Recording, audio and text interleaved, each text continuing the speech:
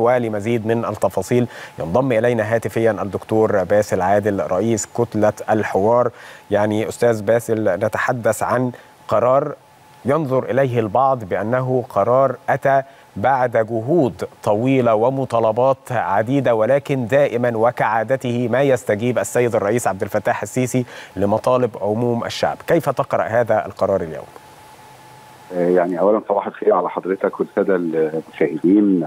أنا بعتبر إنها قراءة سعيدة لأنه الحقيقة الاستجابة لباب الحريات في الدستور وانحياز الرئيس للدستور المصري والاستراتيجية الوطنية لحقوق الإنسان وكمان لتوصيات الحوار الوطني يعني يعتبر تقدير كبير لمسار الحوار الوطني وتاكيدا لمسار الصدق عند الرئاسة في الاستجابة للطلبات وتوصيات القوى السياسية والاجتماعية.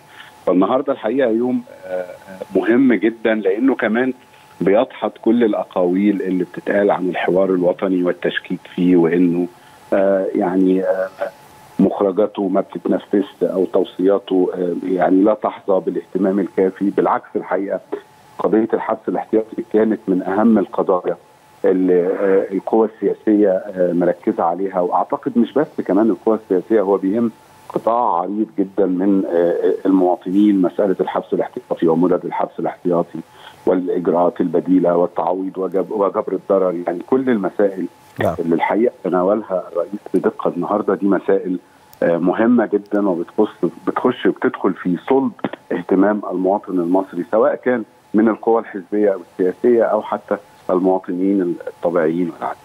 نعم. آه يعني دكتور باسل أنا أعلم جيدا بأنك اعتزلت العمل السياسي لفترة يعني ربما وصلت إلى عامين وعدت مجددا. هل ترى في الحوار الوطني نواة حقيقية للدولة المدنية وللجمهورية الجديدة وأن توصيات الحوار الوطني وحالة الحوار هي حالة حوار جاده تستطيع أن تحلحل العديد من القضايا التي تشغل بال المواطن المصري؟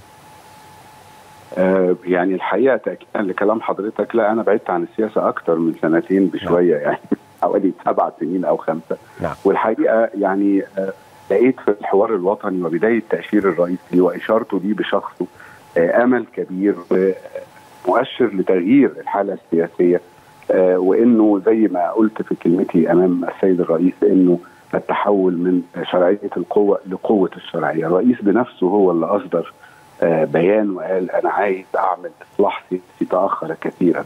ده كان في افطار الأسرة المصرية. آه وفورا تمت إجراءات الحوار الوطني. اللي أنا شفت سقفها مرتفع جدا بالمطالبات والحرية للجميع للمطالبة كل حد أو كل يعني فرد من قوى سياسية أو اجتماعية نقابات آه أحزاب وهكذا. كل التكوينات المجتمعية أو حتى أساتذة الجامعة ومهتمين بالشأن العام وصحفيين وحقوق الإنسان وكل العاملين فيها. كل المجالات محدش قال لحد قول إيه وما تقولش إيه. كل الناس عبرت عن رأيهم يعني بمنتهى الصراحة إن الدولة نفسها وفي رأسها تلجأ أو تستجيب أو يبقى من ضمن خطواتها المزمعة إنها تقلص مدد الحبس الاحتياطي وتنظر بعين الاعتبار لهذه المسألة. دي مسألة مهمة جدا. كمان عايز أقول لحضرتك مسألة الإفراجات. يعني حصل إفراجات كتيرة عن ناشطين وغيرهم يعني. تعدى الرقم ال 2000 العفو الرئاسي. العفو الرئاسي. فبرضه الانفراجات هي يعني بتمشي بشكل متوازي في نفس المسار اللي الدولة بتشتغل عليه وهو مسار كله انفراج. وزي ما بقول لحضرتك التشكيك للحوار الوطني ده بيدل على ضعف الناس اللي بتشكك فيه. مش ضعف الحوار الوطني لأن كل يوم الحوار الوطني ومجلس أمناء والسيد رئيس الجمهورية ورئيس الحكومة بيأكدوا لنا إنه هذه التوصيات تحت العين وتحت الاعتبار وبيتم تنفيذها بسرعة كبيرة. يعني التوصيات متحولة للرئيس أول امبارح. النهارده في إجراء بيتحول للحكومة. نعم. آه كمان عايز أزيد حضرتك من الشعر بيت إنه إحنا معلوماتنا كسياسيين إنه قانون الإجراءات الجنائية بالكامل بيتناقش النهارده في البرلمان. آه آه في لجان في في في وقت الراحة الصيفية أو الأجازة الصيفية للبرلمان اللجان منعقدة. والمناقشات على قدم وساق لأنه قانون الإجراءات الجنائية هو كمان جزء منه قانون الحبس الاحتياطي. فالمسار الحقيقة كله مضيء وكله امل والكل يعلم أن ليس لدينا رفاهية الوقت تحديدا ودعني هنا أستخدم هذا المصطلح الذي حضرتك يعني تحدثت عنه التحول من شرعية القوة لقوة الشرعية لأن ربما هذا ما جاء أيضا في متن تصريح السيد الرئيس برفع توصيات الحوار الوطني بشأن الحبس الاحتياطي للحكومة تنفيذا أو رغبة منه في تنفيذ أحكام الدستور. بالظبط. أنا هنا بشوف الرئيس بشكل مباشر ينحاز لباب الحريات في الدستور. وده شيء مهم. ما هو ال ال ال الدستور فيه أنت عارف أبواب متعددة أبواب معنية بالعدالة وسلامة المجتمع وسلامة أمن المجتمع وهكذا. بس إزاي الدولة تبقى شايفة إن سلامة أمن المجتمع وضبطه اللي إحنا كلنا عايزينه ما يتغولش على الحريات العامة؟ هنا الشعرة البسيطة ما بين إنك تفضل محافظ على المجتمع آمن وتحقق مقتضيات الحبس الاحتياطي بأنه سلامة الأدلة أو تأثير المتهم على الأدلة أو حتى خطورة المتهم وفي نفس الوقت ده ما يتغولش على الحريات العامة للناس. خلي بال حضرتك هي مسألة برضو صعبة. صعبة برضو الدولة إن الدولة إزاي تحقق المصلحة لكل الأطراف فالنهاردة أنا بشوف رئيس الجمهورية بينحاز لباب الحريات في الدستور المصري وده مؤشر يعني رائع على المرحلة القادمة وعلى تأثير الحوار الوطني وعلى صدق نوايا الرئيس حينما أقر وأقام الحوار الوطني ورعاه. فدي كلها مسائل بالحقيقة بتشير في نفس الإيجابية وفي نفس الاتجاه اللي كله آمل زي ما بقول لحضرتك. نعم. دكتور باسل يعني زي ما قلت لحضرتك أو تحدثت معك بأنه لا نملك رفاهية الوقت. ماذا بعد؟ ماذا بعد أن أحال السيد الرئيس عبد الفتاح السيسي التوصيات النابعة أو مخرجات الحوار الوطني بشأن قضايا الحبس الاحتياطي إلى الحكومة لسرعة تنفيذها؟ ما هي الخطوة التالية ك يعني رئيس كتلة الحوار وبرلماني سابق أيضا؟ لو حضرتك بتتكلم على قانون الحبس الاحتياطي بالتحديد القوى السياسية تقدمت بمقترحات في تعديلات القانون. أنا أتصور إنه إحالة الرئيس للحكومة الحكومة هتعد مشروع قانون هتبعثه هترسله لمجلس النواب لدراسته. مجلس النواب بالتوازي هو كمان في حالة ديناميكية حالية بيدرس قانون الإجراءات الجنائية وتعديلاته عشان يبقى جزء منه كمان الحبس الاحتياطي.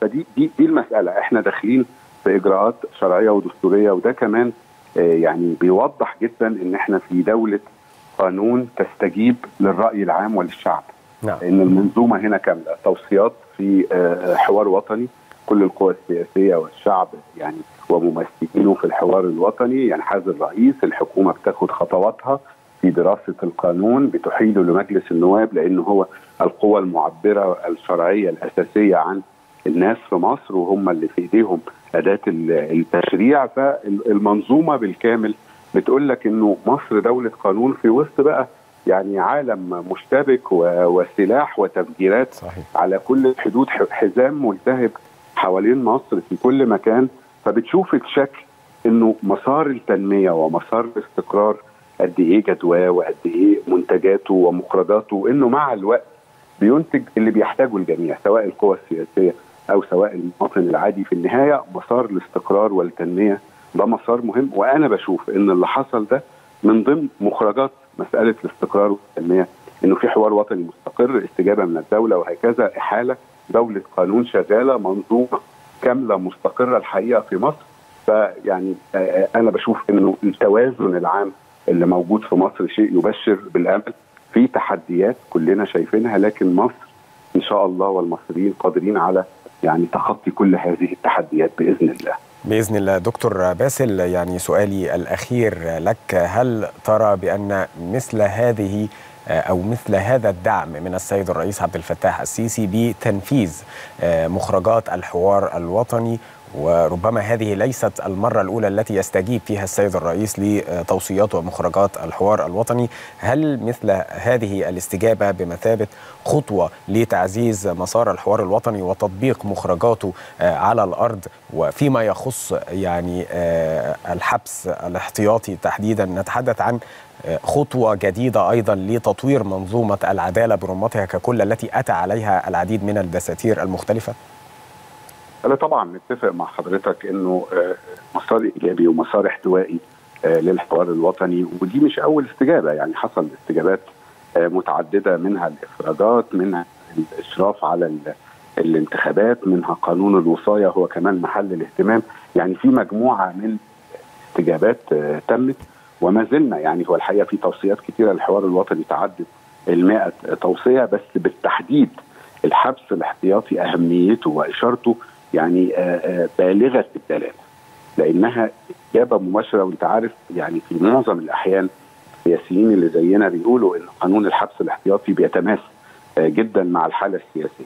وكل ما بيحصل انفراجة في قانون الحبس الاحتياطي يبقى في انفراجة سياسية وإن المجتمع بيسير في مسار التنمية زي ما قلنا. كل ما بيحصل تضييق وتشديد في المدد وكذا وإطالة للمدد تعرف إنه الحالة السياسية فيها مخاوف وده وده الحقيقة كان مفهوم جدا في ظل إرهاب وظل وفي ظل اللي شفناه في البلد في العشر سنين اللي فاتوا إن البلد كانت الحقيقة يعني مستهدفة من جماعة دموية واضح كمان حالة عدم الاستقرار اللي حوالينا.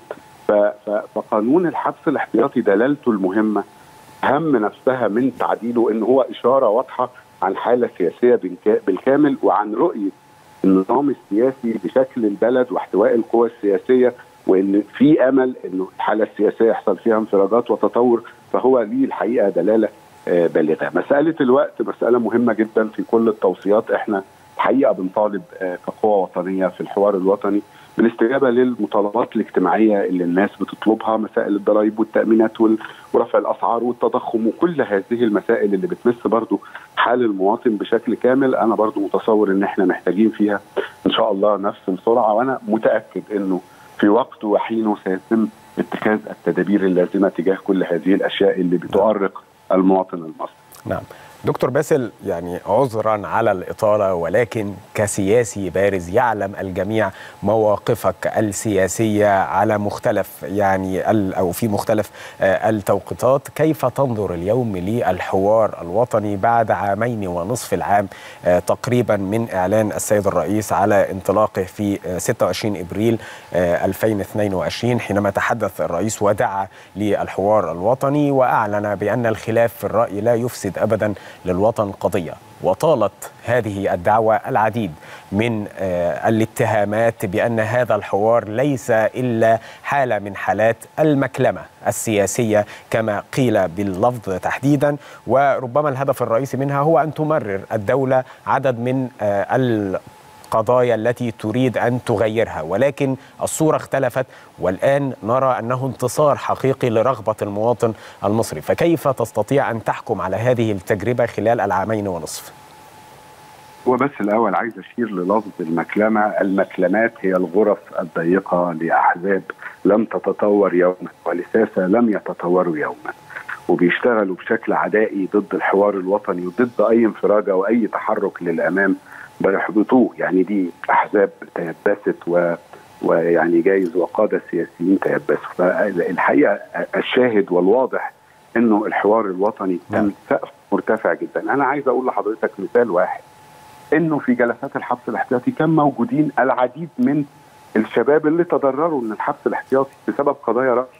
أنت بتتكلم عن حالة حقيقية تماما. فين فين المكلمة. هم جم وعبروا عن مشاكلهم وآرائهم وتعديلاتهم في الحبس الاحتياطي واتكلموا عن تجربتهم في الحبس الاحتياطي بسبب قضايا راي داخل حوار وطني بتقيم الدولة المصرية. يعني أي مسار أكثر حرية وإيجابية أكثر. في مسار إيجابي. ما بنقولش إن كل حاجة تحققت لكن في قدر كبير من التحقق والتحرك للأمام. فمسألة التشكيك طول الوقت في الحوار الوطني بترد عليه كل هذه الاستجابات اللي بيستجيبها الرئيس بشكل مباشر وواضح وسريع وبينحاز يعني على فكرة القانون موجود وكان ممكن ما يتغيرش وكان ممكن لا يطرح في الحوار الوطني والدولة المصرية دولة قوية وبتمرر ما تريد لكن الدولة عندها إرادة واضحة إن هي تغير نهج تغير الاستراتيجية تنحاز للاستراتيجيه الوطنية لحقوق الإنسان اللي الدولة نفسها برضه يعني أقرتها فلا مسألة التشكيك بقت الحقيقة مسألة يعني صحيح. تثير الامتعاض إن إحنا محتاجين نتحرك من المربع ده وإن الكل يبقى إيجابي. ولما الدولة تمد إيديها للناس وتقول أنا عايزه الناس تقول رأيها. صحيح. وربما هي آفة دائما ما تواجهها الدولة في ظل أي من التصريحات التي تتحدث عنها الدكتور باسل عادل رئيس كتلة الحوار. نشكرك على هذه المداخلة على شاشة اكسترا نيوز